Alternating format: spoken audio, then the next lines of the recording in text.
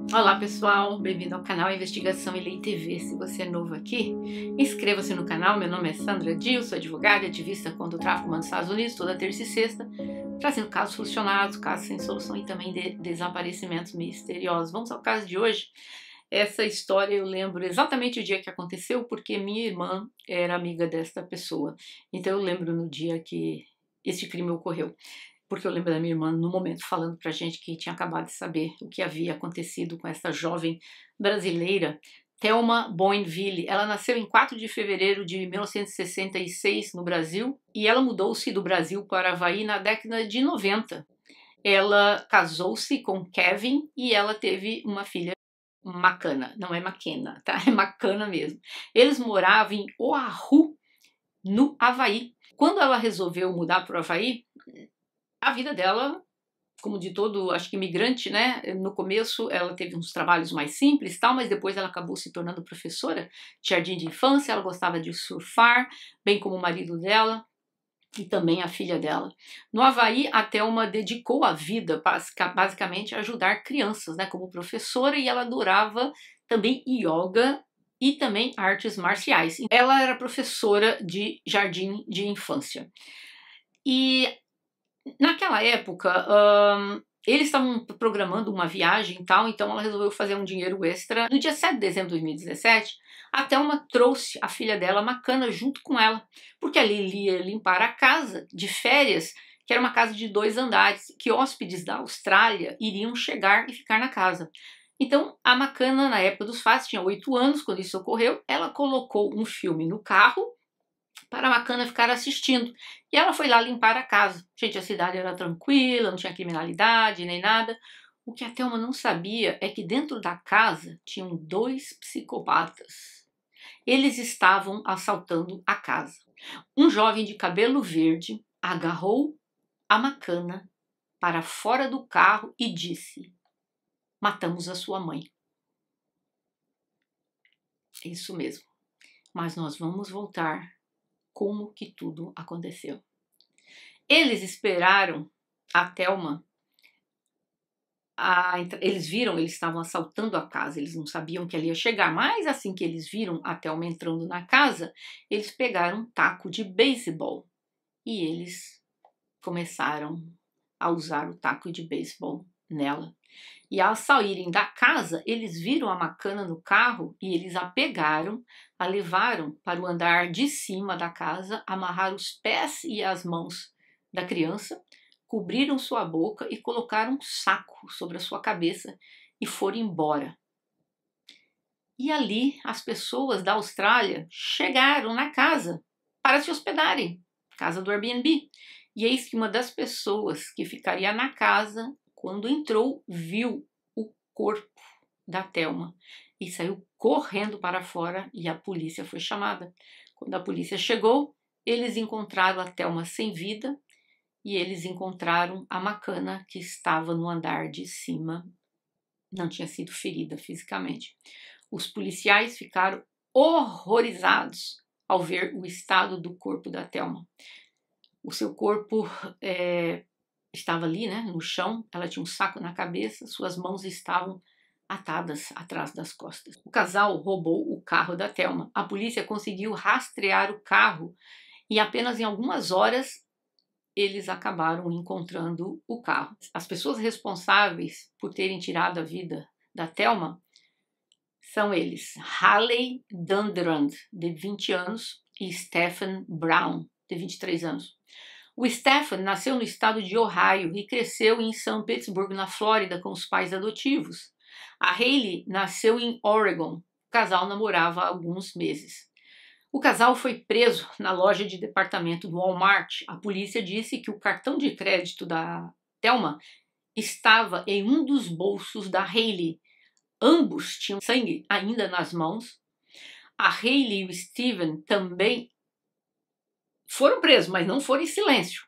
Foram lá protestando, gritando. De acordo com que foi relatado pela polícia, quando eles foram presos, o Stephanie estava pouco cooperativo e disse aos policiais apenas: atire em mim, eu mereço.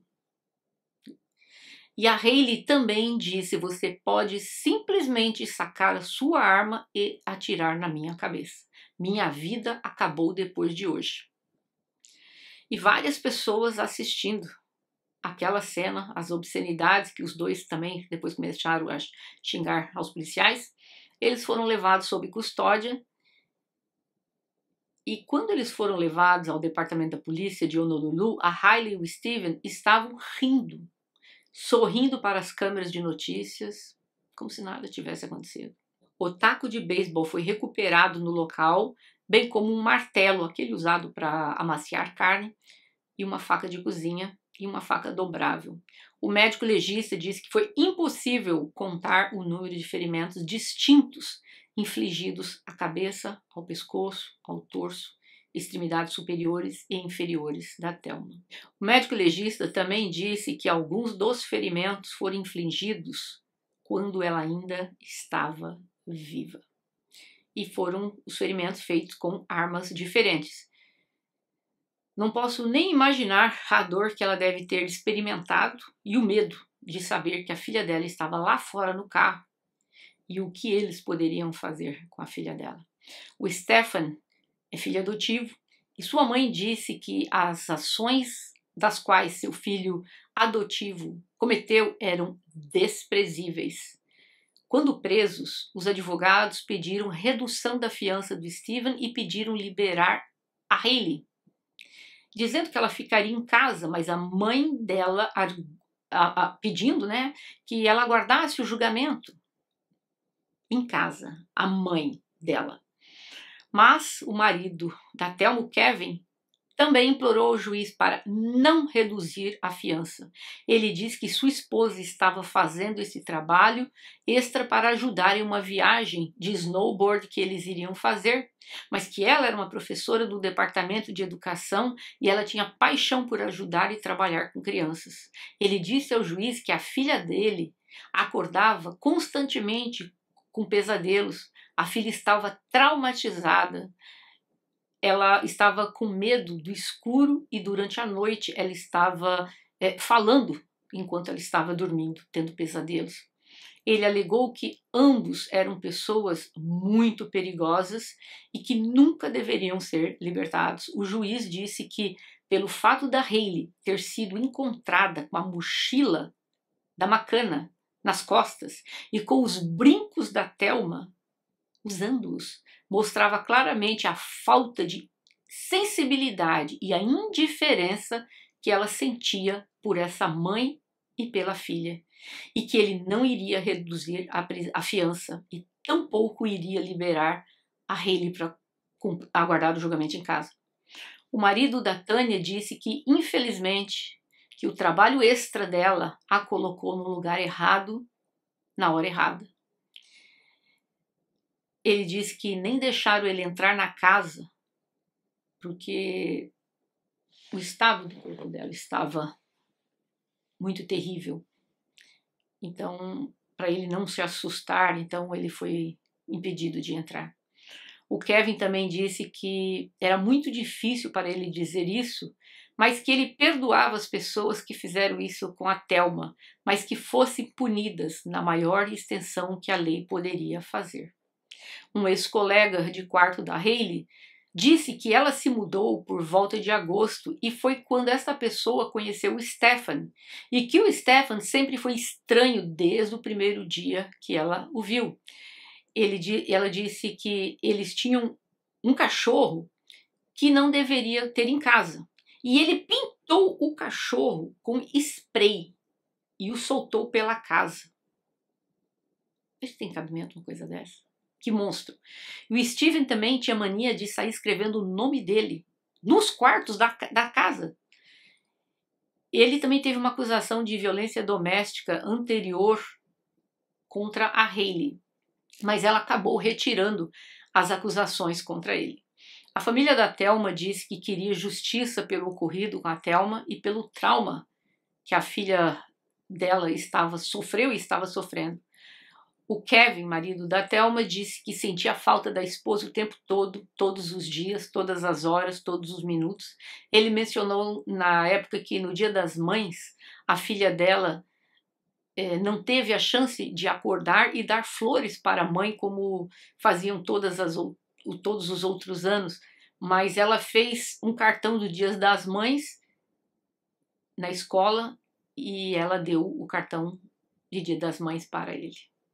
Eles ficaram, esses dois psicopatas, presos por cinco anos até a data do julgamento que ocorreu agora, em junho de 2023. Os membros do júri ouviram os extensos detalhes de que o promotor Scott Bell descreveu como um ataque brutal contra a Tânia, a sangue frio. Um dos policiais, depois no julgamento, disse que o Stefan, enquanto estava no hospital, o Stefan começou a lamber o sangue de suas mãos. Isso mesmo o Estado é, coletou evidências e depoimentos, testemunhas é, para acusação. O Stephanie e a Helen foram julgados em separado. Aaron Evelyn testemunhou que ele entrou na casa aqueles cinco anos atrás e ele encontrou a Thelma Boinville inconsciente em uma poça de sangue. Evelyn também disse ao júri que ela subiu as escadas e encontrou a filha da Thelma, a Macana, então com oito anos, amarrada e com a boca coberta. O promotor adjunto Scott Brad chamou ao depoimento os policiais que prenderam o Stefan é, horas depois de que o corpo da Thelma foi encontrado. E um dos policiais disse, abre aspas, eu, eu pude ver o que ele tinha era um canivete dobrado Estávamos tentando algemá-lo, mas ele estava brigando conosco. Eu disse a ele para parar de resistir. Ele continuou a dizer que deveria ter atirado nele, deveria ter tirado a vida dele. Fecha aspas. O policial Christopher Young, quando ele estava relatando tudo o que ele viu, é, ele disse que ele estava colocando uns sacos nas mãos do Steven para preservar as mãos dele, que estavam cobertas de sangue, né? Para fazer perícia e tal, mas que o Steven começou a lamber o sangue das mãos. Outro policial, ao depois, chorou. E o advogado de defesa, William Bagason, pediu a anulação do julgamento, referindo-se que a emoção do policial no tribunal poderia influenciar negativamente o júri. Mas o juiz mandou o julgamento prosseguir. Tiveram depoimentos de policiais, médicos, socorristas. A polícia encontrou impressões digitais nas fivelas do cinto de segurança do motorista e na cena do crime. O policial disse que também viu a macana amarrada e amordaçada, mas viva no andar de cima e mais tarde encontrou o cartão de débito da Telma no moletom da Hayley. Outro policial que estava eh, disse que após a prisão ela continuava gritando, dizendo que é para sacar a arma e tirar a vida dela, ou seja, a melodramática menina. Mas era tudo uma encenação dessa psicopata também. Acontece que o Steven, no julgamento, disse que não tinha nenhuma intenção de machucar a Thelma. Ele explicou o que, que aconteceu foi o seguinte, versãozinha dele. Quando ele estava fora da casa por 10 minutos, porque eles estavam roubando. Aí a Thelma entrou. E aí, enquanto eles estão lá, ele foi lá fora correndo, deixou a Thelma com a, a psicopata lá, e ele foi lá fora dar uma olhada para ver se ninguém estava vindo tal. E na hora que ele entrou, ele viu que a Thelma estava sem vida. A Hayley tinha tirado a vida dela. Tudo foi culpa dela. Alguém acreditou nele? Claro que não. Aí eles começaram a julgar culpa um no outro. E os, ambos os lados ali encerraram o caso, um colocando a culpa no outro. O Steve pediu que o júri mostrasse clemência com ele, dizendo que ele é um homem mudado, que ele encontrou Deus na prisão. O advogado dele, William, disse que o Steven, após privado de liberdade, encontrou Deus. Ele nasceu de novo. Ele é um cristão devoto. Bom para ele, mas isso não isenta ele de passar o resto da vida na cadeia, né? A mãe da Haley estava aos prantos, pedindo ao juiz que não fosse dada prisão perpétua para a filha dela, que desse pelo menos assim liberdade condicional depois de 30 anos, mas que a deixasse ainda um dia sair em liberdade. A Hayley, ela não teve remorso algum, porque ela, quando presa, ela estava usando os brincos da Thelma. Então, prova-se que com isso que ela não estava nem aí, não foi numa coisa de momento, ai, aconteceu. Não, estava lá usando, passeando no Walmart, fazendo compra. A Macana hoje é uma adolescente linda de 13 anos, que ama surfar com a mãe e também mergulha. Aqui um vídeo dela para vocês verem que coisa mais linda que essa menina mergulhando. Fiquei assim bem chocada, muito bonita mesmo. O pai dela dizendo que ela é, passou por vários é, traumas, né? Foi não foi fácil passar por tudo isso, mas foi uma menina de coragem. Ela depois, no julgamento agora que aconteceu, da Hayley como no do rapaz, Steven, ela participou, ela testemunhou para acusação. E graças a Deus, justiça funciona nesse país. O Steve recebeu prisão perpétua sem chance de liberdade condicional.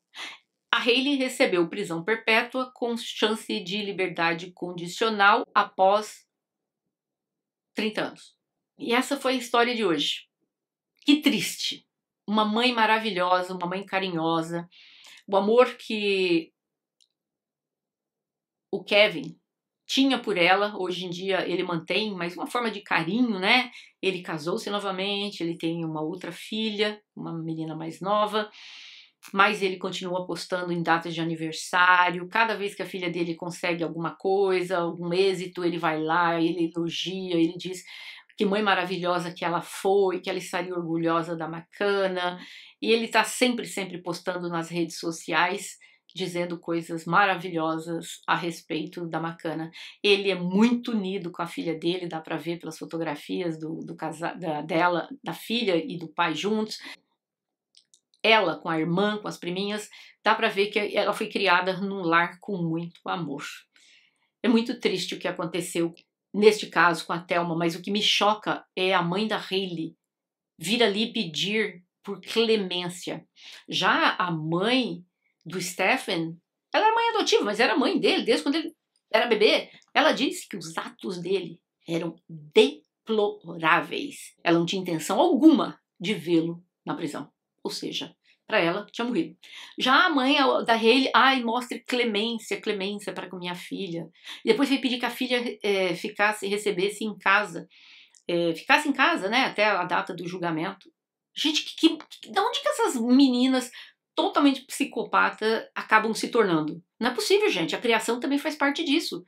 Essa mulher tinha que condenar, fala: minha filha, você cometeu um crime horroroso, você vai lá e você vai assumir esse crime, você vai passar o resto da sua vida na prisão, não vou deixar de te amar, vou vê-la quando posso, mas você merece estar aqui. Não! Pedindo para o juiz. Ai, aguardem liberdade, acreditando que ai, a menina foi forçada a fazer isso, que a filha dela não fez isso, foi o rapaz que fez. A filha não tem nada, nada com isso. Ela estava lá, mas foi o rapaz que fez. Como eu sempre digo, tem mãe que deveria nascer sem útero. Essa é uma delas. É o caso de hoje. Eu espero que vocês tenham achado o caso interessante. Não deixe de deixar o gostei para o YouTube entender que esse vídeo é bom e recomendar para outras pessoas. E para dizer, Thelma, descanse em paz, minha querida. Descanse em paz.